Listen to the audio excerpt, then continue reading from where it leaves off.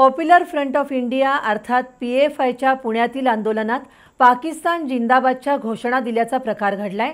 त्यामुळं P F I संघटनेविरोधात कोल्हापुरातील हिंदुत्ववादी संघटनांच्या वतीनं शिवाजी चौकात जोरदार निदर्शनं करण्यात आली. यावेळी पी एफ आय संघटनेच्या प्रतिकात्मक पुतळ्याची आणि पाकिस्तानच्या ध्वजाची होळी करण्यात आली. पी एफ आयची पाळंमुळं उखडून टाकावी या संघटनेच्या कार्यकर्त्यांवर देशद्रोही कलमाअंतर्गत कारवाई व्हावी अशी मागणी करण्यात आली. पी एफ आयच्या वतीनं पुण्यातील जिल्हाधिकारी कार्यालयासमोर शनिवारी आंदोलन झालं होतं. या आंदोलनाला पोलिसांनी परवानगी नाकारली असतानाही पी एफ आयच्या कार्यकर्त्यांनी पाकिस्तान जिंदाबाद अशी घोषणाबाजी केली.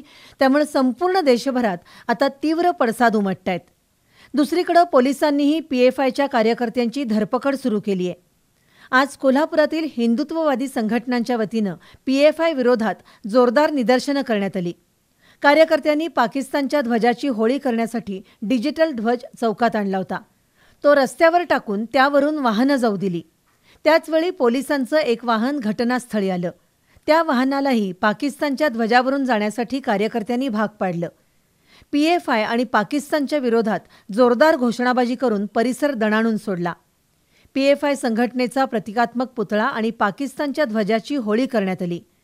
पी एफ आयची पाळंमुळं शोधून कार्यकर्त्यांवर देशद्रोहाचा खटला दाखल करावा अशी मागणी करण्यात आली आहे पी एफ आयने जी ज्या पद्धतीनं जे दोन धर जातीमध्ये दंगल घडवायचा जो प्रयत्न केला आहे हे चुकीचा आहे आणि त्यांच्यावर देशद्रोहाचा गुन्हा दाखल झाला पाहिजे अशी पहिली आमची प्रथम मागणी आहे. आणि दुसरी म्हणजे त्याच्यामध्ये जी जी कनेक्टेड आहेत की त्या ह्याच्यामध्ये ज्यांना कुणाकुणा शिक्षण त्यांचासुद्धा तपास व्हावा आणि त्यांच्यासुद्धा कायदेशीर कारवाई व्हावी ही आमची प्रथम मागणी आहे. या संघटनेला तिच्या तळापासून मुळापासून उखडलं पाहिजे आणि त्यांची पाळंमुळं कुठं आहेत हे शोधून त्यांना नेस्तनाबूत केलं पाहिजे.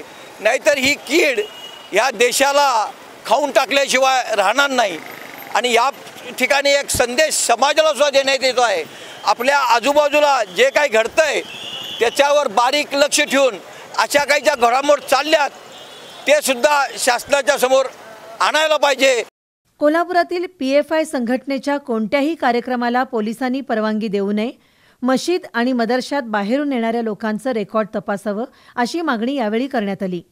या आंदोलनात भाजपचे जिल्हाध्यक्ष राहुल चिकोडे महेश जाधव हेमंत आराध्ये अशोक देसाई युवराज आपटे अमोल पालोजी शिवानंद स्वामी मधुकर नाझरे भरत काळे मनोहर सोरप उदय भोसले यांच्यासह सर्व हिंदुत्ववादी संघटनांचे कार्यकर्ते सहभागी झाले होते. दरम्यान शिवसेना ठाकरे गटानंही याच विषयावर शाहू स्मारक भवनमध्ये मेळावा घेतला. गेल्या काही दिवसांपासून पॉप्युलर फ्रंट ऑफ इंडिया संघटनेच्या देशविघातक कारवाया वाढत असल्याबद्दल शिवसेना पदाधिकाऱ्यांनी तीव्र शब्दात संताप व्यक्त केला. या दहशतवादी संघटनेला देशद्रोही संघटना म्हणून घोषित करावं या संघटनेशी संबंधित कार्यकर्त्यांची देशाबाहेर हकालपट्टी करावी अशा मागण्या करण्यात आल्या. पोलिसांनी कोल्हापूर परिक्षेत्रात पीएफआय समर्थकांची शोध मोहीम राबवावी यासह अन्य मागण्यांसाठी दहा ऑक्टोबर रोजी विशेष पोलीस महानिरीक्षक कार्यालयावर धडक मोर्चा काढण्याचं घोषित करण्यात आलं. पोलीस प्रशासन चांगलं काम करतंय आणि ताकदीने उतरून त्यांनी काम करणं गरजेचं आहे. आज आम्ही शिवसेने वतीने मेळावा घेतलेला आहे. दहा ऑक्टोबरला डीआयजी कार्यालयावर आम्ही भव्य मोर्चा काढून कोल्हापूर सांगली सातारा आणि पुन्हा ग्रामीण इथं जिथं जिथे लोक ही काम करतात संघटना काम करतात त्यांचा कडक बंदोबस्त करा. अन्यथा आम्हाला शिवसेने वतीनं अशी लोक शोधून काढायला लागतील. केरळ आणि कर्नाटक ही राज्य पीएफआयच्या कार्यकर्त्यांची आश्रयस्थानं आहेत असं विजय देवणे यांनी नमूद केलं. आज महाराष्ट्रात विविध ठिकाणी छापे टाकून सत्तेचाळीस पी एफ आय कार्यकर्त्यांना ताब्यात घेण्यात आलंय. त्यामुळे या संघटनेविरोधात जनक्षोभ वाढतोय. या असंतोषाचा स्फोट होण्यापूर्वीच पोलिसांनी दक्षता घ्यावी असं आवाहनही मेळाव्यात करण्यात आलं.